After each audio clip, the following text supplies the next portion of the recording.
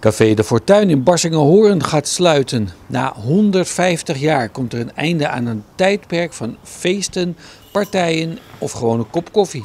Laatste loodjes. Ja, hoe voelt Ja, ja, eh, ja, apart. Ja, toch wel raar. Nee, het, is, eh, het is toch eh, 39 jaar woon je hier oh, en eh, het, is, ja, het is niet niks. Ik ga lekker met pensioen, ja. ja.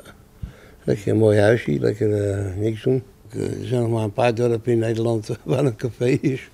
Want dat wordt je zo moeilijk gemaakt met niet roken en met 16 jaar met drank en 18 jaar. En Ik was vier dat we hier kwamen en eh, Maatje Bink noemden ze me. Dus ja, dat is wel bijzonder. ja, het is zeker een historische plek. Het is natuurlijk al, al vrij, vrij oud en het is al eh, eigenlijk het hele bestaan is, eh, is een café en horeca geweest. Belletjes aan de muren, waar zaten de, de, de rijkere mensen, dus de boeren en de schoolhoofden en de dokter zaten daar en die drukten op het belletje en dan kwam de bediende kwam daar al brengen. André Hazes heeft hij nog opgetreden. Drukwerk, eh, eh, die gasten nou? Uh, Meesting Stroopwafels heeft hij nog opgetreden. Heeft ze koningin Beatrix nog ontvangen? ja, ja, ja. Die is hier nog een keer in het raadhuisje geweest.